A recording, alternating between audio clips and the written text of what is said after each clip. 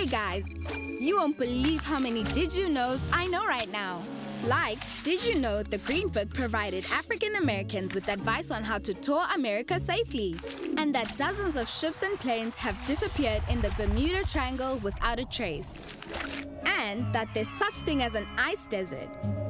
And that there was an 11th century stone city built in Zimbabwe. It's true. My dad didn't even know that penicillin wouldn't have been discovered if Alexander Fleming had cleaned his science lab. So, Dad, I'm not cleaning my room again for science purposes.